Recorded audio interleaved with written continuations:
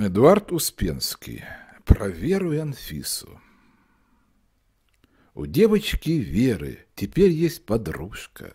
Она не котенок, она не игрушка, она иностранка, она интуристка, она обезьянка по кличке Анфиска. Анфиска, Анфиска, Анфиска, ей папа рад, ее, ее мама рада, другую сестренку. Рожать им не надо, ведь есть иностранка, ведь есть интуристка, ведь есть обезьянка по кличке Анфиска, Анфиска, Анфиска.